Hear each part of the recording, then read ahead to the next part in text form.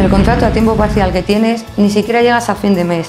Con los salarios que tienes, no puedes buscar otro trabajo, ni aunque sea de fin de semana. Porque no puedes pensar que es lo que hay. Hay que luchar, porque organizadas se gana la guerra. Gracias al convenio de grandes almacenes podemos consolidar la jornada complementaria para aumentar nuestras horas de contrato. Y nos han aumentado los fines de semana que podemos disfrutar sin trabajar. Y no vamos a parar aquí. Esta guerra contra la precariedad la vamos a ganar.